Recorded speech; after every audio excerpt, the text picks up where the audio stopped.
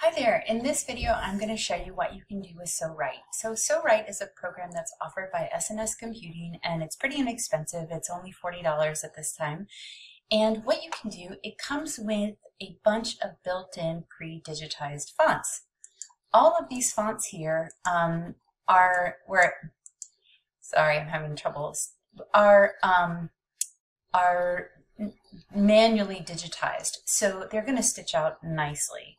So it's basically like getting a whole bunch of bonus fonts. Um, and SewWrite is updated from time to time. So you may notice that when you run your software that you'll see some new fonts in there every once in a while. But it does give you a pretty nice selection. So it works pretty much like a, um, a document editor like Microsoft Word.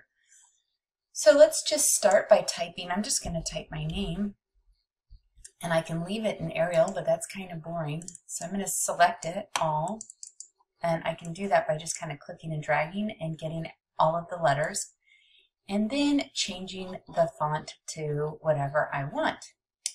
So let's try, this is kind of a neat font right there. I can increase the size and if 72 points doesn't mean a lot in terms of how it's going to relate to your embroidery hoop, you can also look at these um, rulers here. So I know this isn't quite four inches wide, so I know it will stitch out fine um, on my smaller embroidery hoop. When you are ready to save your creation, I'm gonna make it a little bit bigger just for the heck of it. 108 is too big, so let's just make it, we'll say 90 here. Okay, and that's still probably too big. I better go with something like 80. Mm. A little bit smaller. Oops, not that small. uh, 85.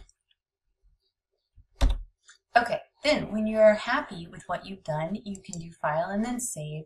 And what it's going to save are two files. One is a dot, dot .swr file, that's SewWrite file, and that is an editable file. So if I love this font and I love this size of the name and I want to change it in the future to a different name, but the same size and the same style, I can open that SewWrite file and then just edit the letters.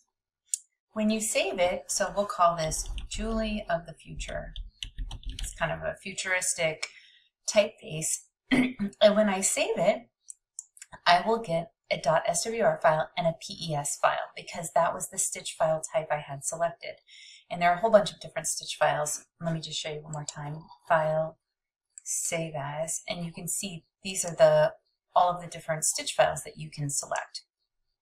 Okay, so if I go to my documents, which is where I saved it, you see Julie of the Future.swr, and you can see Julie of the Future, which is a PES file. If I hop over to SewWhat-Pro, this is another example that I was working on, but I can open that .pes file that I just made,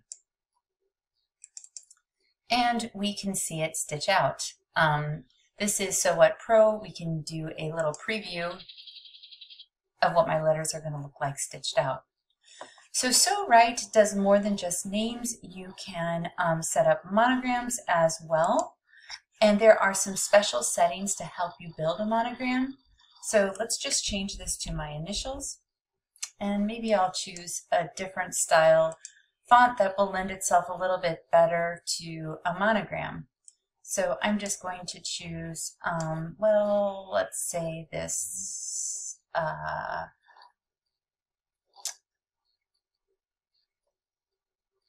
this block one down here. Now, there are different settings for our monogram that I can change. So let's say we want it to be a large center. That um, will produce a monogram that will look like that. For some reason, the way it's displayed at the top is getting a little bit cut off, but let's just save that to see what that looks like. So we'll say File, Save As, Julie of the Future, Monogram. That isn't really Julie of the Future anymore, but whatever. And my embroidery file type is going to be .pes. Let's see what that looks like in So What Pro. So um, over there, and I will open it, and we will see Julia the Future monogram, and it looks pretty good. I like it. Um, and we can see what that looks like stitched out. Nice.